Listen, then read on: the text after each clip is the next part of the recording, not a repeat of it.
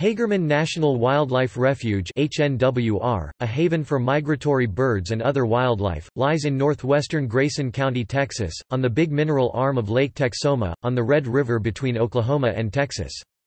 This national wildlife refuge is made up of water, marsh, and upland habitat. Visitors can hike, observe wildlife, hunt, and fish throughout the year. The main focus at HNWR is providing a winter home for thousands of waterfowl. The Canada goose is the predominant species. The population of this species can exceed 7,500 during fall, winter, and spring. Other species include the greater white-fronted and snow goose, with a scattering of the smaller Ross's goose.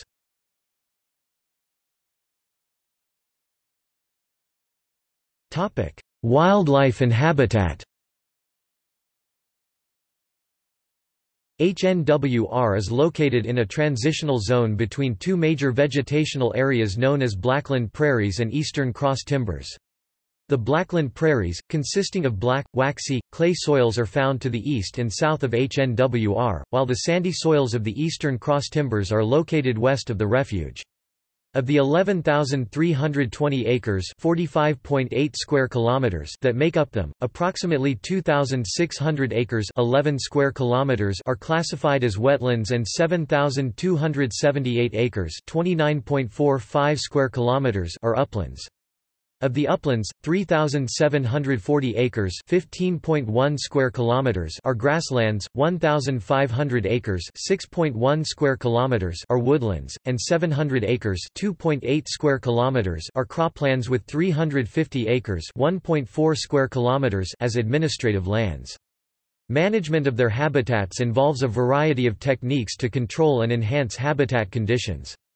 The primary objective of habitat management is to provide wildlife species with diverse habitats to meet a variety of requirements for resting, feeding and nesting.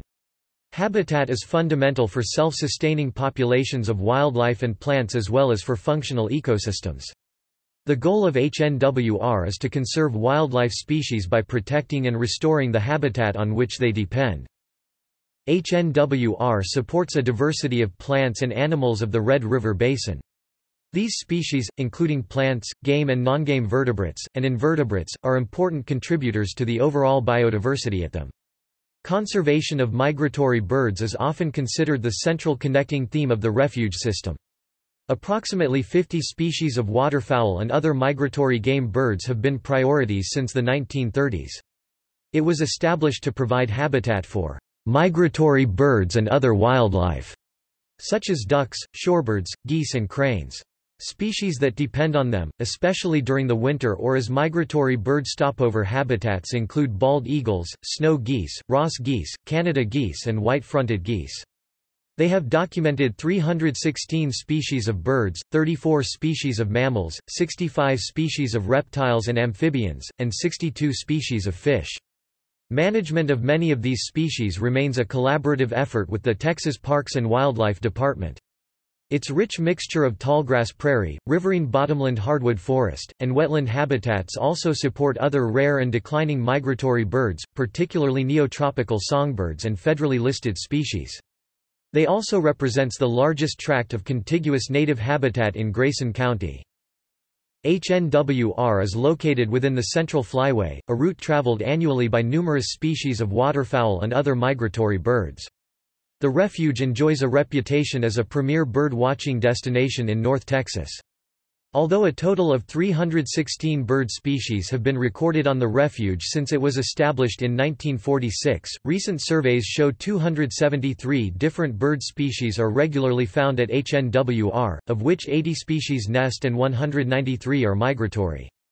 Painted buntings, cardinals, scissor-tailed flycatchers, blue grosbeaks, eastern meadowlarks, northern mockingbirds, blue jays, and red-bellied woodpeckers are common nesting birds.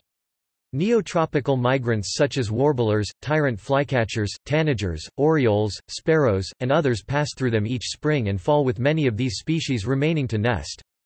Game birds on the refuge include the mourning dove, northern bobwhite and wild turkey. Many declining species either occasionally or commonly occur on the refuge including the American golden plover, prothonotary warbler, painted bunting and Hudsonian godwit. The refuge attracts 15 species of raptors during the fall and spring migration period including the osprey, rough-legged buzzard and Swainson's hawk, hen harrier, sharp-shinned hawk and Cooper's hawk. The refuge provides excellent wintering habitat for bald eagles, particularly along Lake Texoma. Nesting raptors include the red-tailed hawk, red-shouldered hawk, hen harrier, Mississippi kite, American kestrel, and the broad-winged hawk.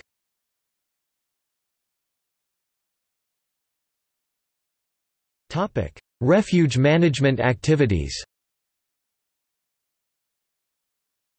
The management objectives of HNWR contribute to the objectives of the Central Flyway Management Program. It serves the objectives of its establishment by providing a protected roost site for geese and quality winter habitat to sustain the condition of migratory waterfowl for spring migration and reproductive success. Maintaining the health and condition of the birds wintering at them affects their spring migrational and reproductive successes each year. One of their outstanding features is the high concentrations of wintering and migratory waterfowl. Up to 7,500 Canada geese, 10,000 snow geese, 100 white-fronted and Ross geese winter on them. Canada geese show up around October followed by snow geese in November. They remain until March when they return to their northerly breeding grounds. North American duck populations have rebounded from low levels in the 1980s and early 1990s, primarily due to greatly improved habitat conditions in northern breeding areas and wetland conservation efforts in wintering areas. The greatest numbers of ducks are in the fall and spring, with peak numbers sometimes approaching 20,000 in October. Long-legged wading birds attract almost as much attention on them as the waterfowl, the great blue heron, great egret, snowy egret, little blue heron and the American white ibis all use wetlands of HNWR for foraging. Agricultural practices on them are primarily directed toward providing forage for wintering geese. Refuge cropland use is planned and implemented to produce at least 150,000 pounds kilograms of hot foods and about 175,000 pounds 79,000 kilograms of browse to meet the forage requirements of geese, ducks, and other wildlife for the critical period of December and January. Approximately 700 acres square kilometers of the refuge are planted with winter wheat, millet, and corn. These crops are grown to be made available to wintering waterfowl and other wildlife from October through February. White-tailed deer also utilize these areas for food and cover. Its personnel and one cooperative farmer plant and manage about 600 acres (2.4 square kilometers annually, mostly in wheat, for wildlife including geese, deer, and turkey. Moist soil units MSU are managed to provide habitat for waterfowl, long-legged wading birds and other shorebirds. Water levels are lowered during spring migrations to provide forage for shorebirds passing through the area. During summer, the MSUs are drained to allow vegetation to grow. Reflooding occurs during late summer and early fall for wintering waterfowl that arrive beginning in late August. Up to 70,000 great white pelicans use refuge waters during their annual spring and fall migrations. Fire management activities on HNWR consist of prescribed burning and the control of wildfires. It has one or two wildfires every few years, especially during times of drought. The frequency of fires depends upon annual rainfall. Some fires are caused by passing trains and lightning strikes, but occasional arson fires also occur. Adjacent landowners graze native grasslands and tame grass pastures very close to the ground, so chances of wildfires on private lands is low. Although fire is a natural part of prairie ecology, uncontrolled wildfire can threaten dwellings, livestock, haystacks, field forage and structures such as fences, sheds and feeders. Refuge wildfires are not common and are generally suppressed. Prescribed burning is an important management tool for maintaining the prairie and edge associations by reducing grassland invasion by woody species, reducing accumulated grassland litter, stimulating the growth of warm-season perennial grasses, and to reduce flammable accumulations to reduce the wildfire hazard.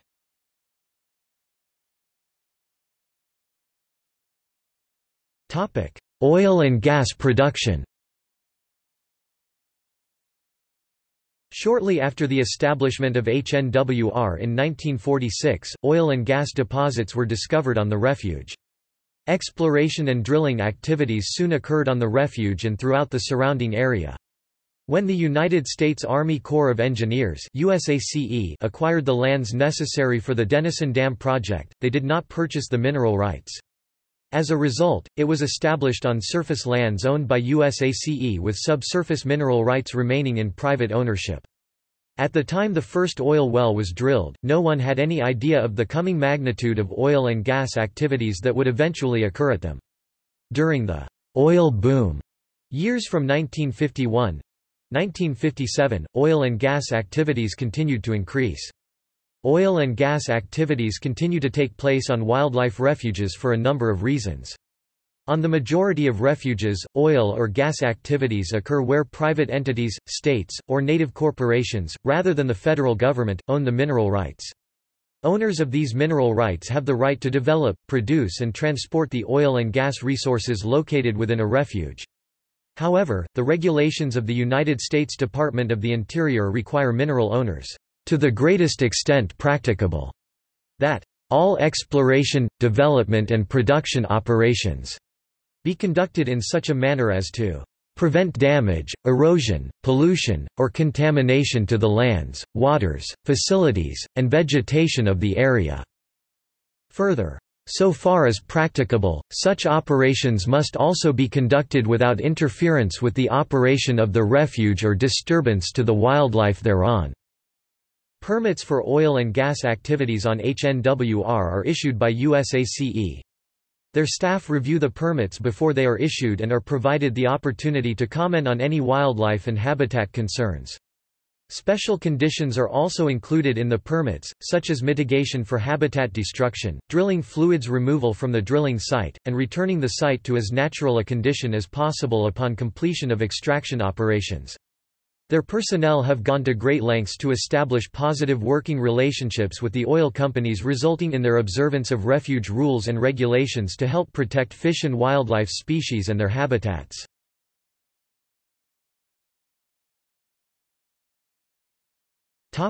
Recreational opportunities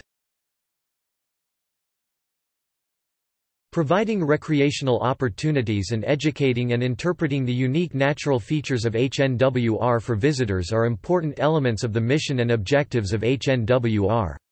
In the Refuge Improvement Act of 1997, six wildlife-dependent recreational uses were determined priority public uses on national wildlife refuges. These are, hunting, fishing, wildlife observation, wildlife photography, environmental education and environmental interpretation.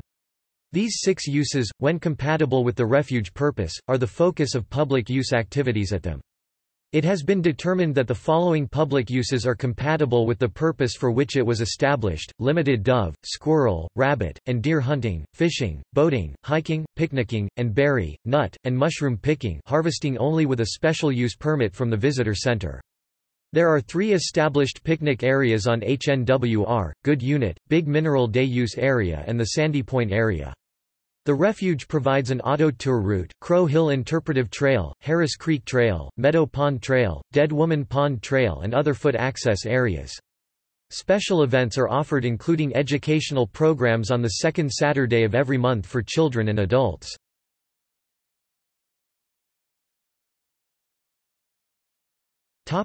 Friends of Hagerman Friends of Hagerman is a non-profit organization that supports HNWR. This organization has more than 100 members and hosts free, monthly interpretive, educational programs. They also conduct off-site outreach programs and are a strong voice of support in the community.